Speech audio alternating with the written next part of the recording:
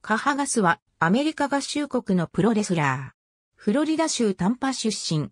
2003年、地元であるフロリダ州を拠点とするインディー団体、フィップにて、プロレスラーデビューを果たす。同年4月9日には、JCW にて、JCW ライト級王座を獲得。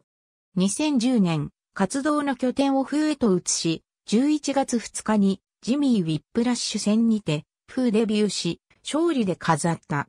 フーデビュー後は、負け知らずであり、2011年4月12日に、敗れるまで無敗だった。同年、フーと並行して NWA の加盟団体に参戦。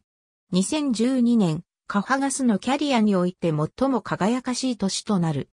3月29日、NWA 加盟団体のリングウォリアーズにて、ロシアンチェーンデスマッチによる NWA ナショナルヘビー級王座戦にて王者であるチャンスプルフェットに挑戦して勝利し、王座を奪取。4月6日、DPW にて NWA 世界ヘビー級王座を保持するアダム・ピアースに挑戦するがドローとなる。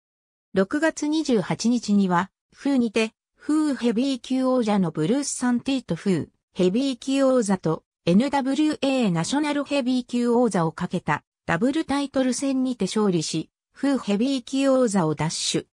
以降、フーではニュージャックやウェス・ブリスコ、マイケル・ターバーなどを相手に王座を防衛し、11月2日に NWA 道具にて NWA 世界ヘビー級王者が空位となったために行われた QA エリミネーションマッチに出場し、勝利を飾って NWA 世界ヘビー級王座を獲得した。2013年3月16日に NWA 加盟団体のバウにてロブコンウェイトの NWA 世界ヘビー級王座戦にて敗戦し王座防衛に失敗。王座陥落後の4月20日、NWA ヒューストンのイベント、パレードオブチャンピオンズにて NWA 北米ヘビー級王座を保持するバイロン・ウィルコットに挑戦して勝利し、ベルトを奪取した。他、アメリカのインディー団体を中心に多数のタイトルを獲得。ありがとうございます。